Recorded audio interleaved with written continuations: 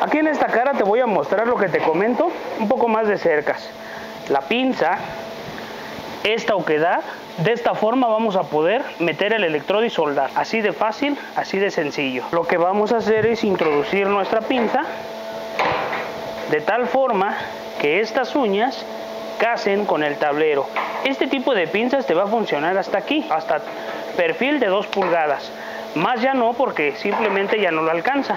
Y lo que vamos a hacer es hacer ahora palanca hacia arriba. Vamos a empujar ligeramente para que de esta forma el tablero lo logremos llegar a la ceja. Vamos a aplicar su soldadura.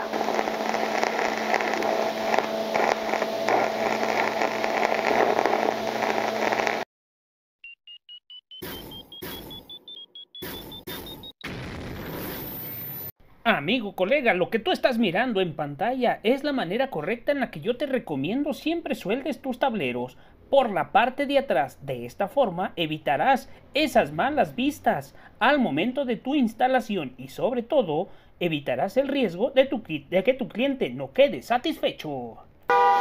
Amigo, compañero, colega del ramo, bienvenido a nuestra segunda parte de fabricación de puerta económica con tablero en color cintro. En esta parte del video, mi amigo, vamos a colocarle ya sus bisagras sobre su contramarco. Vamos a hacer también su colocación de su tragaluz en la parte central de nuestro tablero y sobre todo vamos a reforzar nuestro tablero con el perfil que yo te recomiendo. Pero seguramente tú te has de estar preguntando, bueno, ¿y él de qué está hablando? Mi amigo, si te has perdido la parte número uno de fabricación de este video, te invito aquí abajito en la cajita de descripción tenemos los enlaces directos para que vayas y mires esa parte número uno y de esta forma tú puedas realizar este proyecto para tu propio domicilio. Ahora sí, mi amigo, comencemos con este video. Perfil para colocarle refuerzo a nuestro tablero. Es un perfil R100, una pulgada por media. Este perfil sí lo vamos a colocar en la caja chica y vamos a también soldar lo que hicimos en la parte inferior y superior de nuestro tablero, ahora lo vamos a realizar, pero con este mismo tubular. Esto va a ser para que nuestra, nuestras canales no se nos pandeen y tenga una estabilidad y rigidez nuestro proyecto. Así que vamos a colocar nuestros perfiles. Pero aquí te va un dato bien importante. Mira, ambos perfiles tienen la línea negra de unión, de cierre o costura de nuestros perfiles.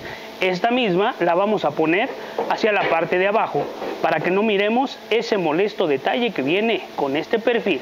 Vamos a ocultarlo de esta forma. Vamos a dividir 1, 2, 3 claros iguales usando nuestras bellas matemáticas que en anteriores videos te he mostrado. A tomar nuestra medida total y vamos a descontar 50 milímetros y lo vamos a dividir entre 3. La matemática, mi amigo, es bien importante que tú la sepas utilizar para poder aligerar un poco la carga de trabajo. En este caso, para sacar la división tenemos 1830. Te vas a apoyar de tu calculadora y vamos a hacer lo siguiente. 1830 menos 25.4 menos 25.4 del otro perfil al resultado lo dividimos entre 3 y tenemos 593. Así de simple, así de sencillo. 593. es a la medida que vamos a colocar estos perfiles.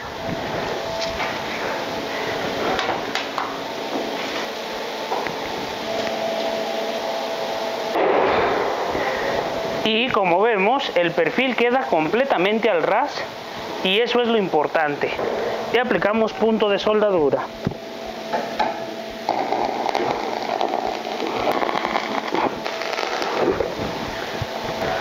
Necesitamos poner aquí la caja para nuestra cerradura. Un metro de distancia es lo que te recomiendo.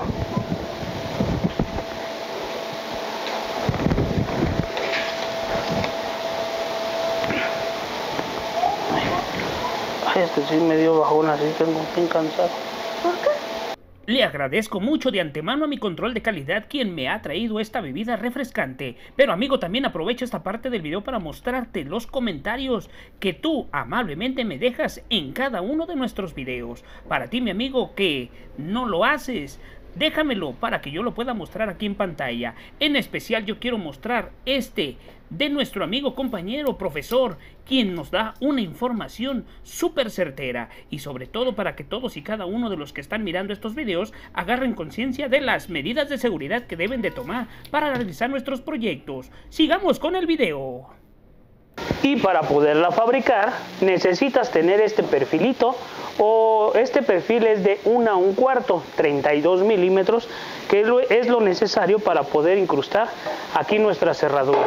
Ahora también es bien importante que si tú no tienes este perfil de 1 a un cuarto, no te preocupes, puedes hacerla de ángulo o con perfil 124, el riel para ventana. Hay muchos materiales que podemos utilizar para que de tal forma se vea bien nuestra caja. En este caso vamos a utilizar este tradicional de 1 a un cuarto.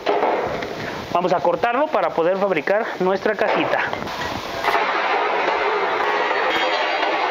Perfecto, ya que lo tenemos, este lo vamos a poner así, dos con corte recto, corte 45 y uno con doble corte 45. Esto va a ser para poder soldarlo de esta forma y en la parte del medio vamos a colocar nuestra cerradura. Bueno, vamos a armar esta para poder seguir con nuestro procedimiento. Y vamos a hacerlo de la misma forma, como si fuera un bastidor grande, aunque sea muy pequeño.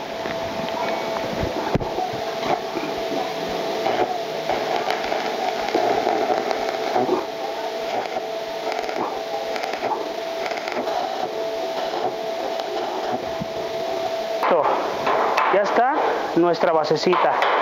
Ahora bien, lo que necesitamos es transportar la caja de nuestra ceja aquí para poder hacerle la canal porque este debe de embonar. Y para que tú puedas hacer eso rápidamente vas a tomar un pedacito de este tipo de perfil. Considera que siempre la caja chica es la que va a ir a la parte superior y vas a poner aquí para poder marcar.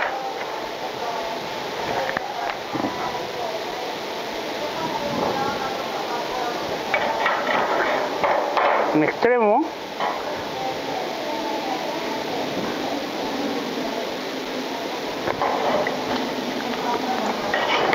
Una vez que ya los tienes aquí marcados entonces ahora sí vamos a proceder a hacerle su respectiva ranura. Una vez que ya tenemos nuestra cajita ahora sí nos vamos a disponerla a colocar en su sitio. Que te reitero la medida y quedar bien de acuerdo bueno tenemos mil milímetros justamente aquí es donde vamos a necesitar.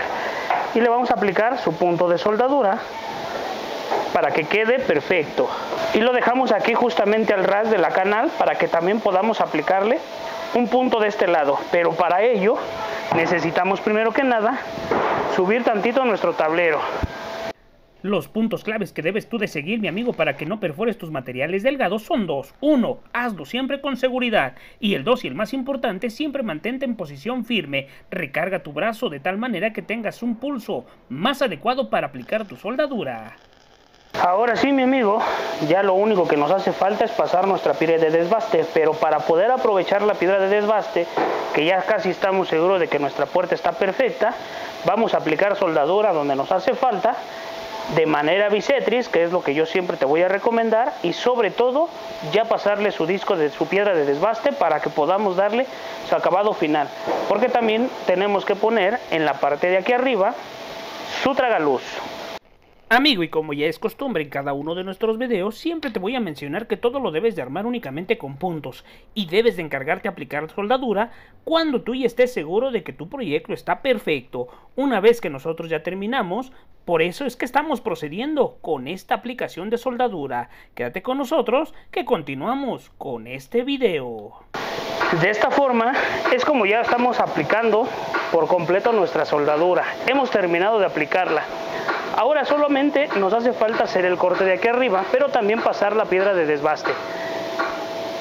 Vamos a echar un volado. Ha caído sol y ha ganado la esmerilada. Vamos a pasar nuestra esmerilada, pero no, la suerte luego a veces no está de nuestro lado.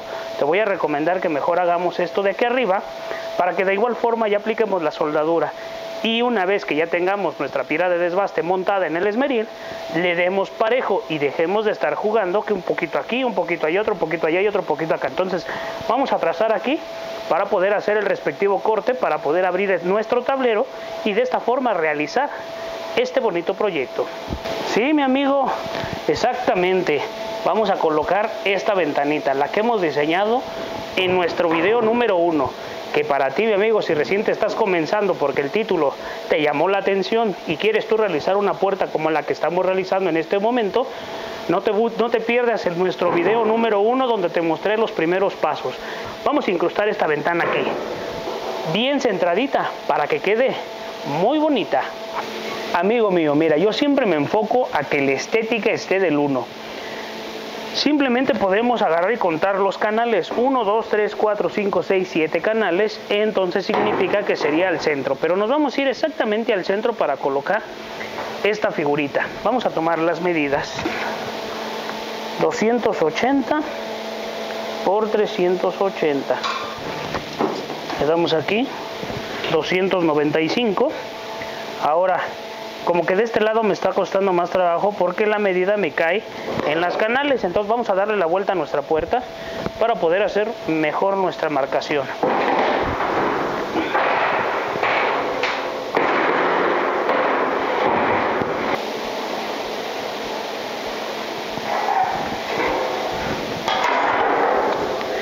Una vez ya marcado ahora sí vamos a disponernos a cortarlo para poder incrustar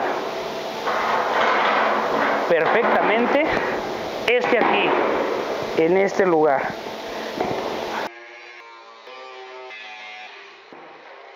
Una vez ya cortado el cuadro, ahora sí, esta entra perfectamente aquí. Y le vamos a aplicar punto aquí en las canales, porque esta la vamos a soldar, pero por la parte de atrás. Vamos a aplicarle esos puntos. El electrodo que nosotros estamos empleando para todos y cada uno de nuestros proyectos es 6013, un octavo, y lo quemamos a 135 amperios. Ahora, mi amigo, te voy a presentar una cosa. Aquí, ¿estás de acuerdo conmigo que ya habíamos puesto la figura? Y ya le habíamos aplicado unos pequeños puntos de soldadura. Pero, ¿qué te crees, mi amigo? De esa forma vamos a trabajar doble. Entonces, para evitar ese trabajo doble, mira, te presento la figura que ya la he pintado. ¿Por qué te decía que trabajamos doble? Bueno, pues porque si no tendríamos que empapelar para poder pintar esta figura. Una vez que ya la tenemos pintada, ahora sí nos disponemos a fijarla en su lugar, tal cual en los mismos puntos que ya previamente habíamos puesto, para ahora sí ya darle su acabado final. Cuéntame hasta el momento la experiencia que has llevado en este video, mi amigo. ¿Ha sido lo que tú necesitas? O bien, déjamelo en la cajita de comentarios. Si te ha surgido alguna duda de lo que llevamos hasta el momento, no dudes más. Hazme tu pregunta y si está en nuestras manos, con muchísimo gusto, vamos a resolver esa duda para que tú puedas realizar este bonito proyecto en tu propio taller u domicilio. Pues listo mi amigo, después de ya haber pasado el esmeril, estamos literalmente al 80% de la culminación de nuestro proyecto Puerta del tipo económica con materiales tubulares en cintro. Dos cosas son las que nos hacen falta. Uno, la, la, perforación de nuestra cerradura que debe de ser con un sacabocados de 1 a un cuarto o bien 32 milímetros.